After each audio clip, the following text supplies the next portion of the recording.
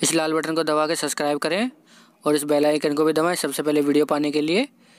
और हमें और ज़्यादा वीडियो बनाने का उत्साह मिलेगा इसलिए लाइक को भी दबाएँ।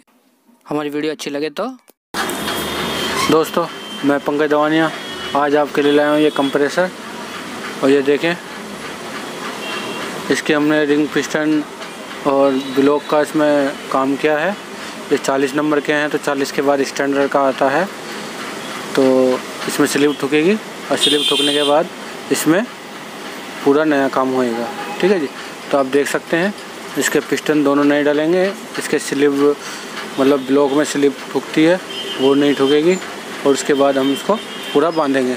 इसकी थोड़ी हेड की सेटिंग करनी होती है, इसलिए मैं आपको थोड़ा सा वीडियो बना के दिखा रहा हूँ कि आपको थोड़ा वीडियो में बता दिखा सकूँ कि इसकी हेड की सेटिंग कैसे करते हैं, हेड के बाल किस तरह के हैं। थोड़ा सा इसमें आप समझ सकें। क्योंकि मैंने इसमें वीडियो दे रखी है काफ़ी, और डबल पिस्टन की दे रखी है, दोनों सेम होती है उसी तरीके से, उसमें कोई दिक्कत नहीं है। देखें, इसके हेड हैं, और ये हेड की इसमें सेटिंग करनी होती है, कुछ इस तरह के इसके वाल होते हैं, ये देखें, इस तरीके से लगे रहते हैं वाल के ऊपर। ये पीतल की जो हैगी तो पत्ती लगी रहती है, और इसके नीचे बाल होते हैं। ठीक है ना, आपको इसका ध्यान रखना है।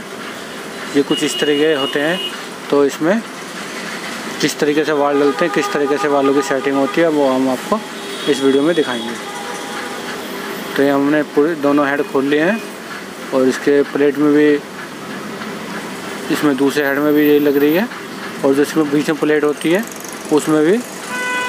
तो हम दोनों आपको इसमें नए करके दिखाएँगे। ये देख सकते हैं आप, ये दोनों पैचकस की मदद से खुल जाएँगे और खुलने के बाद इसमें बीच में अंदर दो पत्ती निकलेगी। एक जो मुड़ी हुई पत्ती होती है, वो स्प्रिंग का काम करती है वाल को दबाए रखती है। और जो दूसरी है, वो वल है। ठीक है जी? तो उसको हमें जो सही लगती है तो आप सही उसे लगा सकते हो, या फिर आप नया भी लगा सकते हो। ये देखें, हमने खोल लिया। ये इनकी तरह स्प्रिंग का काम करती है, ये वाली पत्ती। और ये हमारा वाल का काम करती है, दूसरी वाली। ये दो है दोनों में इसी तरह की होती है। और जिसको पकड़ रखती है, जैसे कि इधर उधर जाने नहीं देती, हिलने नहीं देती। ठीक है? आप समझ गए होंगे कि कुछ ये किस तरीके से काम करती है।